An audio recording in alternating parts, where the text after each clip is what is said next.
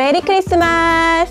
성탄을 기다리는 여러분, 예수님의 탄생을 기다리며 우리 함께 성탄 카드를 오늘 만들어 보려고 합니다.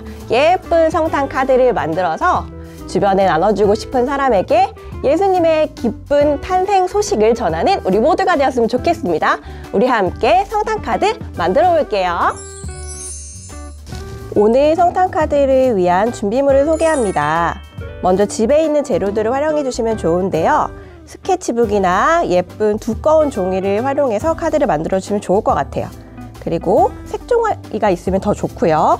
색깔을 칠할 수 있는 색연필과 풀, 가위, 칼도 준비해 주세요. 여기에 재료를 더하거나 빼서 가정에서 할 수 있는 재료로 정성껏 만들어 주시면 좋을 것 같습니다. 네, 먼저 스케치북을 열어서 자, 오늘 스케치북은 두 장이 필요합니다. 먼저 두 장을 예쁘게 잘라주세요.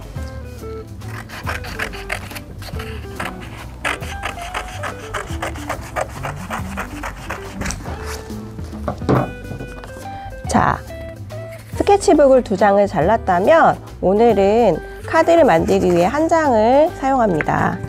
자, 카드를 만들기 위해 스케치북을 반으로 접고 여기를 또 반으로 잘라주세요.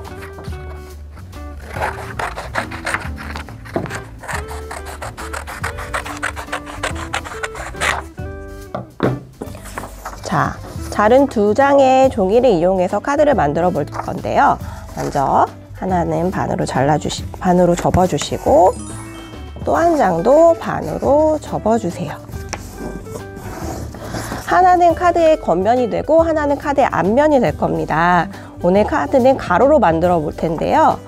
자, 안쪽으로 들어갈 종이에 한 가운데 정도의 가위로 이렇게 선을 넣어주시고요. 이것을 이렇게 반으로 또 접어주세요. 자, 이 부분이 안으로 들어가서 입체를 만들도록 할 겁니다. 이렇게 다시 펴서 안쪽에서 한 번 더 이 부분을 이렇게 접어주세요. 자, 그러면은 여기에 이제 안쪽으로 입체 카드를 만들 수 있도록 어, 모양이 완성됩니다. 그 다음에 이것이 다 완성되고 나면은 겉면을 붙여서 이렇게 예쁜 카드가 되도록 할 거예요. 자, 이제는 안쪽 카드에 들어갈 내용을 한번 만들어 볼 텐데요. 오늘은 예수님의 생일을 축하하는 마음을 담아 케이크를 한번 만들어 보려고 합니다. 아까 자른 스케치북 한 장을 가지고 와서요. 여기다가 그리고 싶은 모양의 케이크를 그려주세요. 자, 이렇게 저는 사인펜으로 케이크 모양을 그려보았습니다. 이제는 원하는 색깔로 어, 색깔을 칠해주시면 좋겠습니다. 자, 이렇게 준비해둔 색연필을 가지고 내가 좋아하는 색깔로 케이크를 꾸며주세요.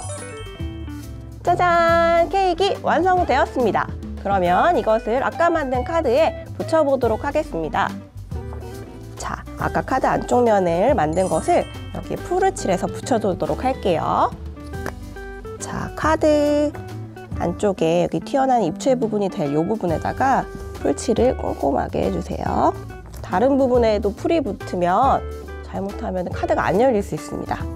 자, 이렇게 놓고 이 부분에다가 붙여주세요.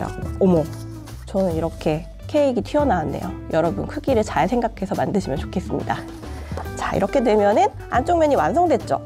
이렇게만 하면 허전하니까요. 여기다가 글씨를 좀 써주도록 할게요. 저는 예수님 생일을 축하해요 글씨를 써보도록 하겠습니다. 어, Happy birthday to Jesus 뭐 이렇게 써주셔도 되고요.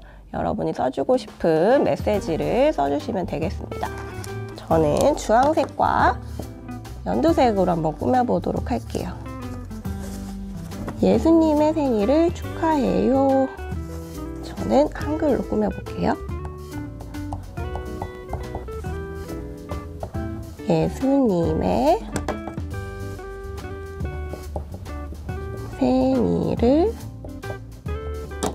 축하해요.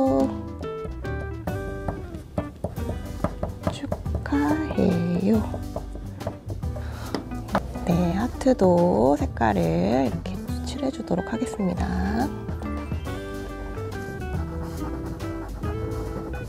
자, 예수님 생일을 축하해요. 내용이 담긴 카드 앞면이 완성이 되었습니다. 아래쪽 부분에는 메시지를 담아서 주고 싶은 사람에게 글을 쓰면 좋겠죠. 자, 그러면 이건 접어주도록 하고요. 이제 카드 겉면을 꾸며보도록 하겠습니다. 자, 카드는 가로이기 때문에 이렇게 열어서 보잖아요. 그래서 여기에 꾸며주도록 할 텐데요. 어, 예수님 생일을 어, 축하하는 마음을 담아 이번에는 성탄, 나무, 트리를 만들어 보도록 하겠습니다. 자, 준비해둔 색종이를 가지고 어, 성탄 나무를 꾸며 볼 텐데요. 한 요 정도 크기로 해주면 좋겠죠. 카드 앞면도 여러분이 꾸미고 싶은 모양으로 꾸며주시면 좋아요. 자, 저는 반을 접어서 나무 모양, 트리 모양을 만들어 보도록 하겠습니다.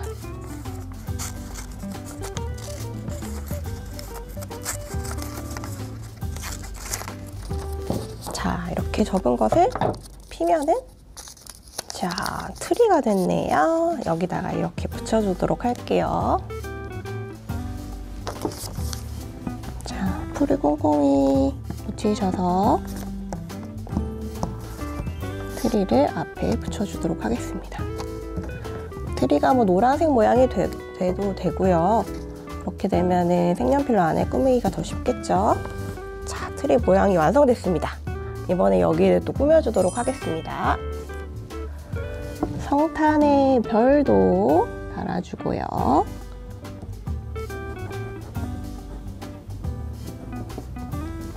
트리 장식도 한번 해보도록 할 텐데요. 각종 장식품들, ornament를 동그라미로 네. 여러 가지 모양으로 달아주세요.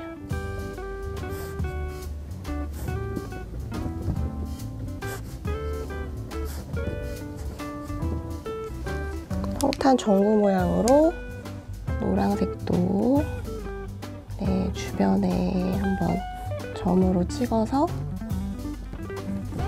표현을 해보도록 하겠습니다. 그리고 트리의 둘을 띠를 한번 진한 색깔로 한번 둘러줄게요.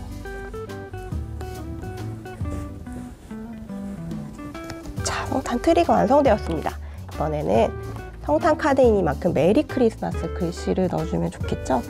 메리 크리스마스 저는 영어로 써보겠습니다. 메리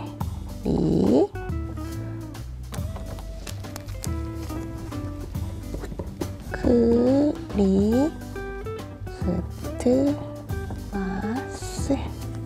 네 여기 철자 헷갈리지 마세요. 메리 크리스마스 자 앞면이 완성되었습니다. 겉면과 안쪽 면을 풀로 붙여서 완성해 주도록 하겠습니다. 안쪽 면에다가 풀을 붙여주시면 되겠, 습니다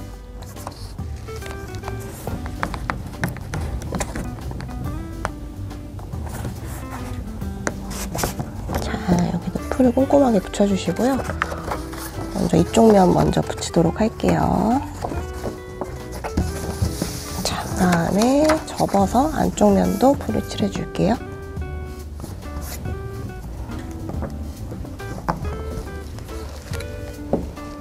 자, 이렇게 접어주면 짠! 예쁜 성탄 카드가 완성되었습니다. 메리 크리스마스! 예수님 생일을 축하해요. 여러분이 만드신 예쁜 카드를 주변 이들에게 전해주세요. 성탄의 기쁜 소식을 전하는 귀한 도구가 될 것입니다. 만드신 예쁜 카드는 홈페이지에도 올려주시면 서로 아이디어를 공유할 수 있겠죠. 그렇다면 우리 성도님들 모두 메리 크리스마스 되세요.